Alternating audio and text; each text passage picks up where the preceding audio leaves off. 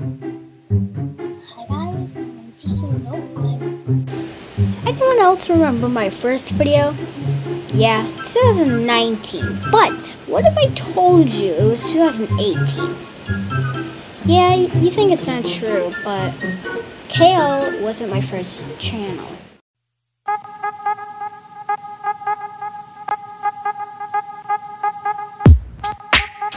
Unfortunately, I can't find my first YouTube channel, but I can find my old, old videos. Starting off with Dave Kowalski, of my first YouTube channels. In order to watch them, I have to make them public.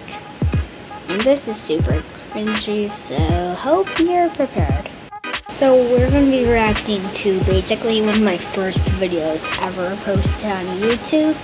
This was posted on my dad's account. So, let's see it. It's 16 seconds and um, I don't really do animations so much anymore, so uh, let's see.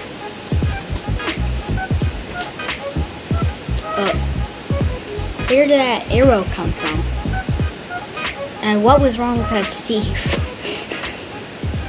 the, why are they T-posing?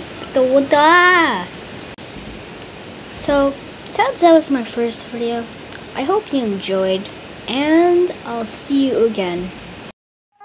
Well, you actually made it to the end of the video.